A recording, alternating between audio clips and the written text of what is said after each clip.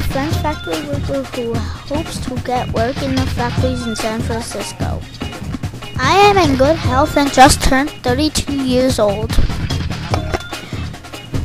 When I have saved enough money, I will send for my wife and three children. I can read and write, but I do not speak English.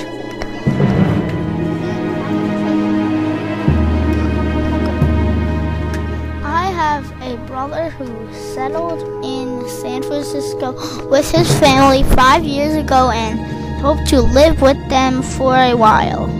I have 750 francs as money with me.